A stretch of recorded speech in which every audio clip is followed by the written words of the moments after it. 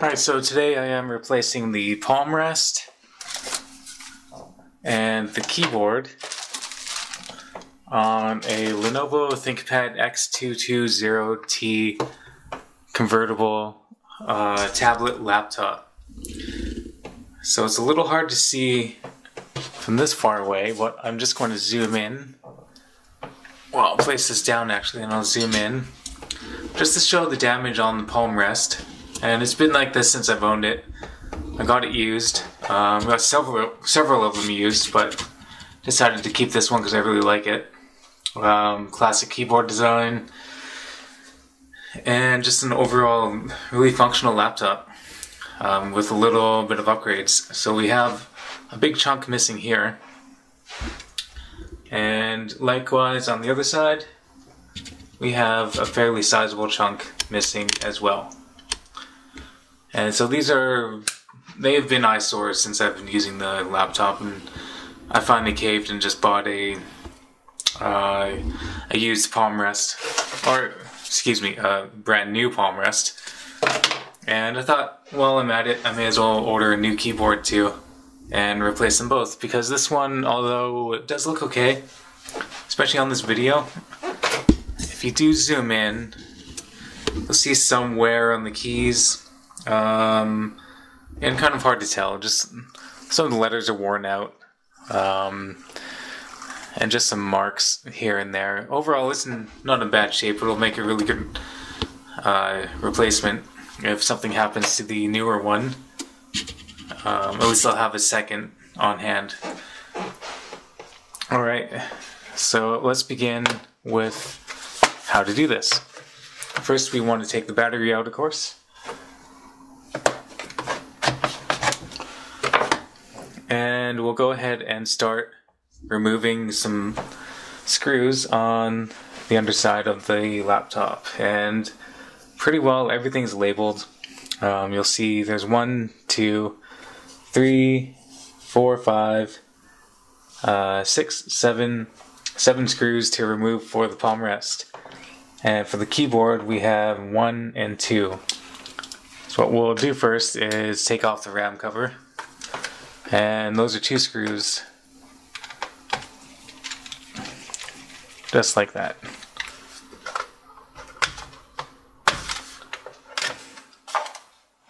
Okay. I didn't mention this, but all you need is a Phillips head screwdriver.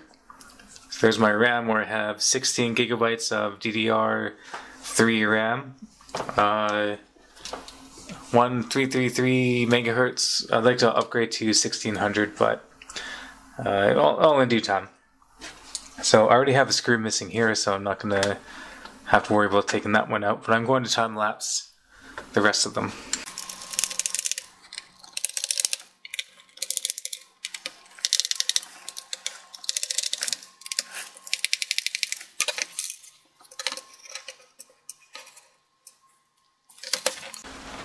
Okay, we'll flip it back over and I believe I will need a flathead screwdriver. Small. And we just want to use that to help pull up the keyboard, like so. If I'm remembering this correctly, I haven't taken this off for a while. Um, yeah.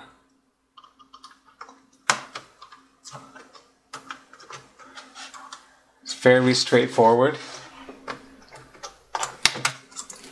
And we can just simply unplug that from the motherboard. And we'll place this off to the side.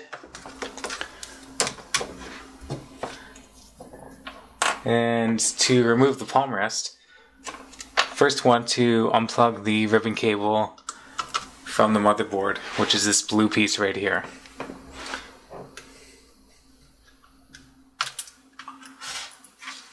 Having some tweezers might help, but you can just use the flathead screwdriver too. It's very easy. And now, just need to gently pry up. This one's been taken off before, and I'll show you why in a moment here. is here, just like the X230T, we have the spot for the mSATA solid state drive, um, the Wi-Fi card, and the Bluetooth card. Um, so for this swap in particular, we have to remove the touchpad and place it, of course, onto this. So to do so, zoom in a little bit here. There's just a couple screws to replace and I just would like to pause the video for a moment so I can look for them without just running the tape. Alright, so we have some tape to remove. We have a screw here, here, here, and here. And I'll just take my little mini flathead screwdriver and just pull up on the tape gently.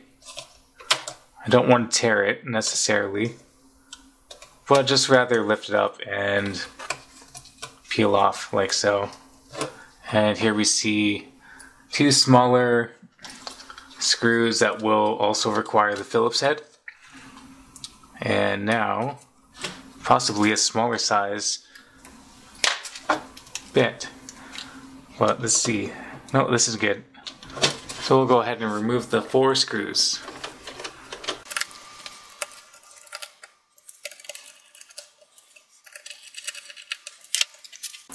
Okay, so now we'll also use the screwdriver here to peel up this tape, which is actually not really uh, taped on at all. And we'll just gently see about taking this palm, this uh, touchpad off. And I would just like to, again, pause the video and just inspect this a little bit. And also change the battery on my camera.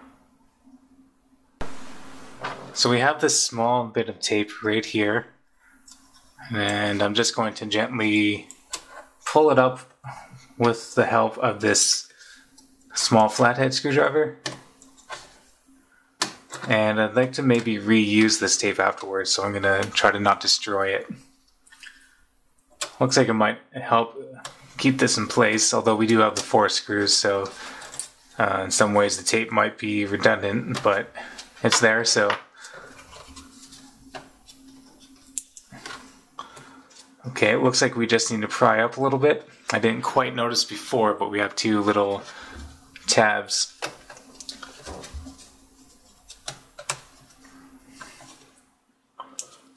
Okay.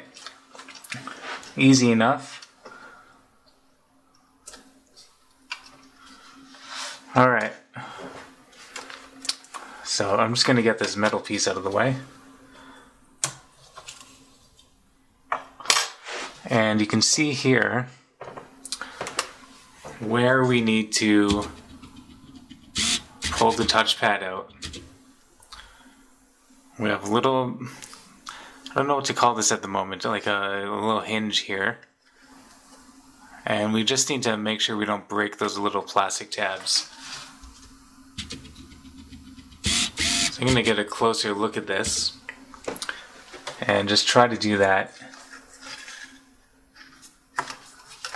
It looks like we can just gently pull down on either end.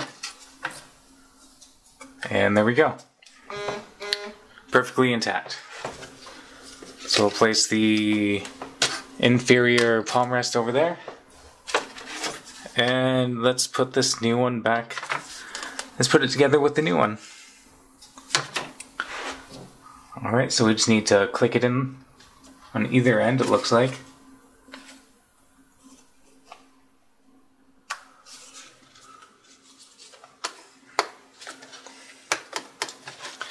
Uh, truthfully, truth, truthfully, it's not complicated at all. I think once you take a look at it, it's very approachable. And we'll just do this in the reverse order. Place this metal structure piece back on. And let's put the screws back on. Oh, of course.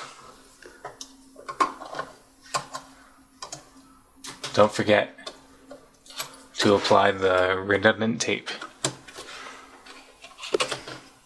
There we go. I guess it wouldn't be complete without doing that.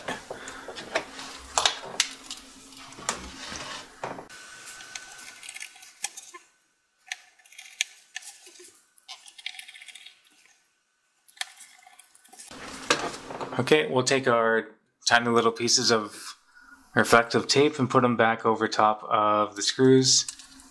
Um, if anything, just because they were there in the first place. This tape isn't exactly adding any structural integrity, but um, yeah, I guess it looks shiny, and that's cool. Okay. Looks good and feels good too. Let's put this back on the laptop.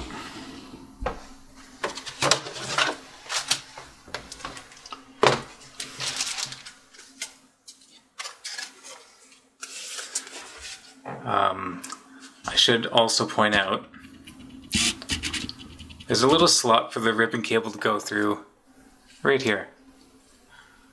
At least I think that's what it's for. It's actually kind of an awkward fit. Maybe that's not true at all. I'm going to pull it back out. And not do that. I think I was wrong. So I'm just going to place this like so.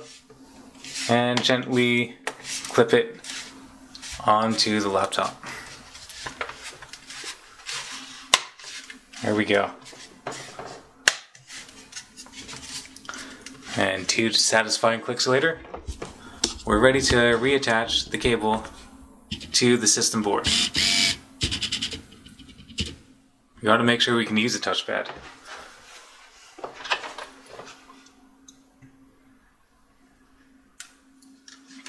For this I'll use tweezers.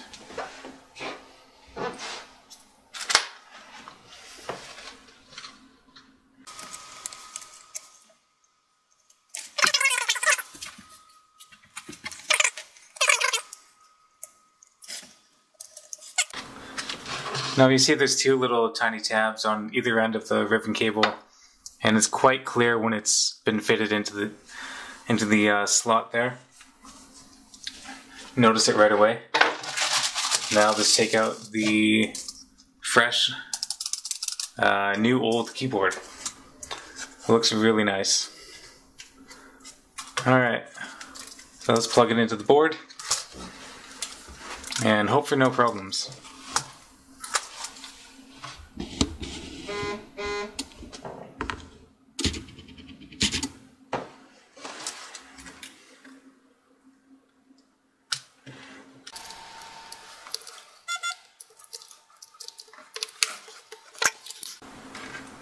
Now, before we go ahead and completely place this back, let's boot this up and just make sure that we're doing okay.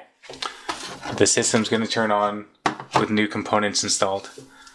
Let's turn this over and stick the battery back in. And let's try booting this up for the very first time with a new keyboard. Okay.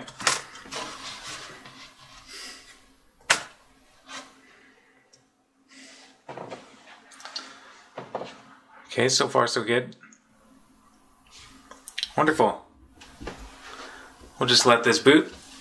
It should be fairly fast. The mSATA SSD does make a really big difference. And I highly recommend installing one into your system if you haven't already. And I don't know if you did notice, but my hard drive bay is empty. I don't currently have anything in there.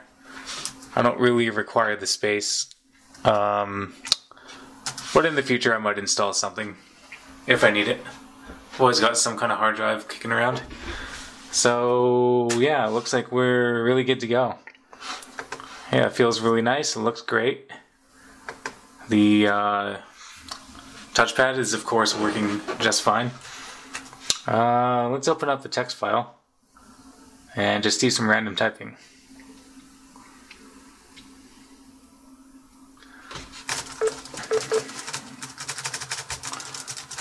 Cool. And of course, the characteristic red dot works perfectly well. I'm satisfied. Okay, so I know it's kind of hard to tell. Um, I'm not the best cameraman or the best uh, screen recorder, but the keyboard's working. There's a bunch of random digits on the screen in the text document. Um, I don't think I need to prove further. I'm just going to delete that using the keyboard. Oh. And let's boot this down and unplug the battery again and finish up the install of the keyboard.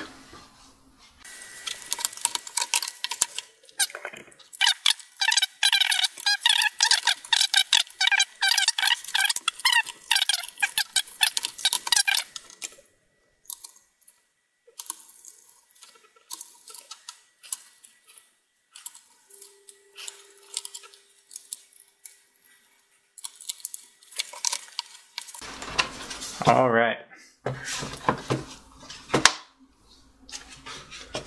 So here we have our beautiful brand new keyboard, brand new palm rest.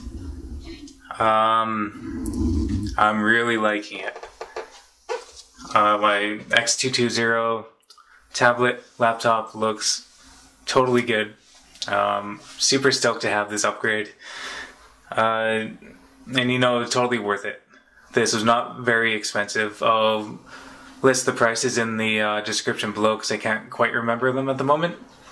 And I'll maybe uh, also post the links to the uh, eBay page that I bought it off of for as long as it's up.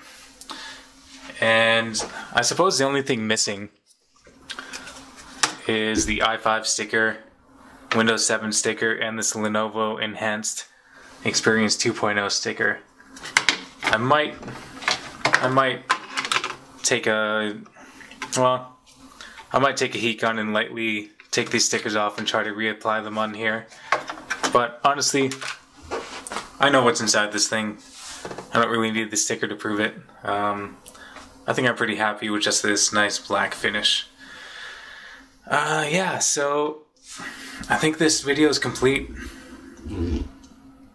If you're ever thinking about doing this for your X220, I definitely think you should. This laptop's awesome. Uh, serving me super well. Every day I use it. I love it. And it makes me happy. So I think if it would make you happy, you should do it too. And as you can see, it works perfectly. It's super simple. Um, I believe anyone can do it. So hopefully this video helped you figure out how. If you have any comments or if you have any feedback or if you have any questions or if you want to tell me that I did something wrong, just post in the comments below. I'm likely to respond. So anyways, thanks a lot for watching and I hope you learned something.